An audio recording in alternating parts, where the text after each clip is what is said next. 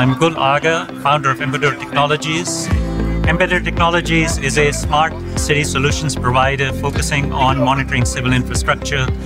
We are here at Cisco Live uh, demonstrating our technology to monitor cities and how smart sensors can be used to monitor the state of the infrastructure, everything from railroads to bridges to mass transit systems. It senses the vibrations and strain on, on these bridges. It can tell you exactly which elements are functioning, what the useful life is.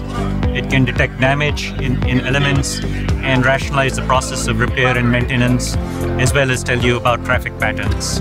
Our solution uses smart sensors, creates distributed uh, artificial intelligence, essentially makes it so that the uh, processing can be done locally and uh, P2P communication so that we can uh, respond in real time.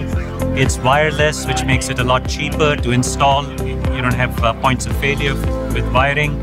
Its costs are orders of magnitude lower than that for wired systems. The technology evolved out of a research project for the last 15 years at the University of Illinois at Urbana-Champaign. We have done the longest and largest deployment at the Jindo Bridge in Korea for over three years. Uh, we've been monitoring, and it's a bridge that then became a smart bridge. Any kind of problems, it could uh, inform by email engineers back in Illinois. It involved placing 689 sensor channels in 130 nodes all across the bridge uh, so we could monitor every single element. This brings down the cost of monitoring by uh, two orders of magnitude. So previous attempts to monitor have used uh, wired sensors, which is very expensive to install.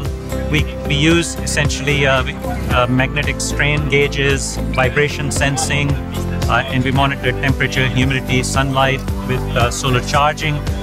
We strategically place these sensors on every element and we can monitor every single element of the structure and see how it's responding. And if there are any problems, it, it's networked so that it can communicate back to a base station.